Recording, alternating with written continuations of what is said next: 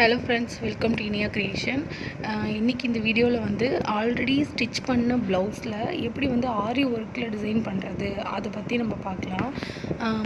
ஆரி ஒர்க்கை வந்து already stitch பண்ண ப்ளவுஸில் போடுறது ரொம்பவே கஷ்டம். ஆனால் இது ட்ரை பண்ணி பார்க்கலாம் அப்படின்னு சொல்லிட்டு போட்டிருக்கேன்.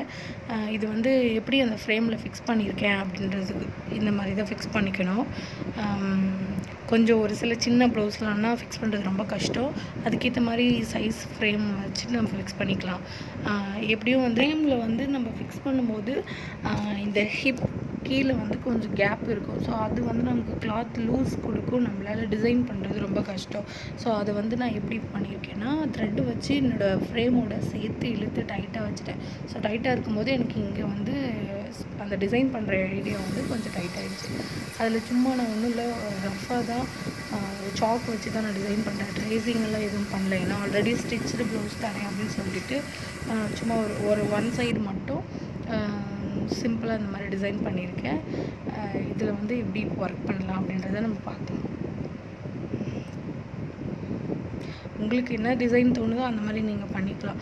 ஆல்ரெடி பண்ணதில் பண்ணுறது ரொம்ப கஷ்டம் தான். பட் ஆனால் நம்ம இந்த மாதிரி பண்ணிவிட்டு டிசைன் பண்ணிக்கலாம். ஒன்றும் ப்ராப்ளம் இல்லை. சில ரொம்ப ப்ளவுஸ் சின்ன ப்ளவுஸ்னால் அந்த ஸ்டிச்சஸ்லாம் வந்து கொஞ்சம் அப்படியே விலகிற மாதிரி ஆகிடும் அது நமக்கு ரொம்ப ப்ரா பிரச்சனையாக இருக்கும். ஆனால் அதுக்கப்புறம் வந்து ஸ்டிச் பண்ணிக்கலாம். ஆனால் இது பேக்கில் பண்ண முடியுமே தவிர ஹேண்டில் பண்ணுறது ரொம்ப கஷ்டம். அப்படி ஹேண்டில் பண்ணோம் அப்படின்னாலும் சின்ன சைஸ் ஃப்ரேம் ரொம்ப குட்டி சைஸ் ஃப்ரேம்லாம் இருக்கும். அந்த மாதிரி ஃப்ரேம்லாம் வச்சுட்டு டிசைன் பண்ணிக்கலாம். ஹேண்டில் அந்த மாதிரி நான் பண்ணியிருக்கேன் ஆல்ரெடி சின்ன ஃப்ரேம் வந்து உள்ளே வச்சுட்டு பண்ணியிருக்கேன். ஆனால் ஒரு அதை அந்த ப்ளவுஸில் வந்து விரிசல் வரும். அது வராமல் பார்த்துக்கணும். இது வந்து ஒன்று இது எல்லாத்தையுமே ஃபுல்லாகவே நான் அவுட்லைன் வந்து செயின் ஸ்டிச்சால் கொடுத்துட்றேன். ஃபுல்லாக எல்லாத்துக்குமே இந்த கொடி ஃப்ளவர் அந்த லீஃப் மாதிரி இருக்கிற எல்லாத்துக்குமே வந்து ஃபுல்லாக அவுட்லைன் செயின் ஸ்டிச் கொடுத்துட்டு அதுக்கப்புறம் தான் நான் ஸ்டோன் அதாவது பீட் ஒர்க் பண்ணுறேன் ஏன் நம்ம பீட் ஒர்க் பண்ணிவிட்டு கூட சுற்றி அவுட்லைன் கொடுக்கலாம். அது நம்மளோட விருப்பம். நம்ம ஒன்ஸ் நம்ம டிசைன் பண்ண கற்றுக்கிட்டோம்னா நம்ம டிசைன் நம்ம இஷ்டப்படி நம்ம எப்படி வேணால் பண்ணலாம். ஆனால் பார்க்க அழகாக இருக்கணும். டிசைன் வந்து லுக்காக இருக்கணும். இப்போ இப்போ வந்து நான் பீடு ஒர்க் பண்ணுறேன் அந்த கொடி மாதிரி கொம்பு மாதிரி போட்டிருக்கேன் இல்லையா?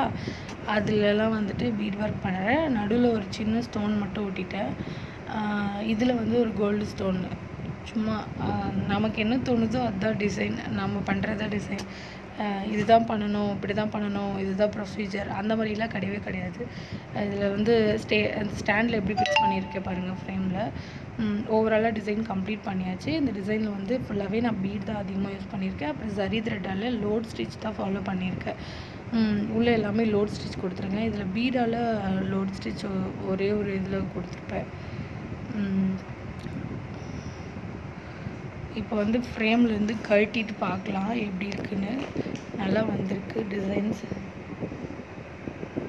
நம்ம நமக்கு நல்ல ஒரு டிசைன் வேணும்னா அதுக்கேற்ற மாதிரி நாம் தான் அதை ஃப்ரேமில் ஃபிக்ஸ் பண்ணி போடணும். ஆல்ரெடி ஸ்டிச் பண்ண ப்ளவுஸ்லேயும் டிசைன் பண்ணலாம். அதுக்காக தான் நான் இந்த வீடியோ பண்ணேன். ஆரி ஒர்க்கு பண்ணணும் ஆரி ஒர்க்கு பண்ணலாம். அதுக்காக தான். இந்த வீடியோ வந்து உங்களுக்கு பிடிச்சிருந்துச்சு இந்த டிசைன் பிடிச்சிருந்துச்சுன்னா லைக் பண்ணுங்கள் ஷேர் பண்ணுங்கள் கமெண்ட் பண்ணுங்கள் மறக்காமல் சப்ஸ்கிரைப் பண்ணுங்கள் பெல் ஐக்கானும் கிளிக் பண்ணிவிடுங்க அப்போ தான் நான் அடுத்தடுத்து போடுற எல்லா வீடியோஸும் வந்து உங்களால் பார்க்க முடியும். இது வந்து டிசைன் பண்ணதுக்கப்புறம் பேக் சைடு வந்து நமக்கு இப்படி தான் இருக்கும். ஏன்னா இது ஆல்ரெடி ஸ்டிச் பண்ணிட்டோம் அப்படின்றதுனால நம்ம லைனிங்லாம் கொடுத்து ஸ்டிச் பண்ணிடுவோம். இதை நம்ம ஸ்டிச் பண்ணாத கிளாத்தில் ஆரி பண்ணும்போது நம்ம டிசைன் பண்ணிவிட்டு லைனிங் கொடுக்கும்போது நமக்கு இந்த பேக் சைடு வந்து உள்ளே மறைஞ்சிரும். ஸோ அந்த நாட்டு போட்டதெல்லாம் வந்து நமக்கு பேக்கில் குத்தாது அந்த மாதிரி.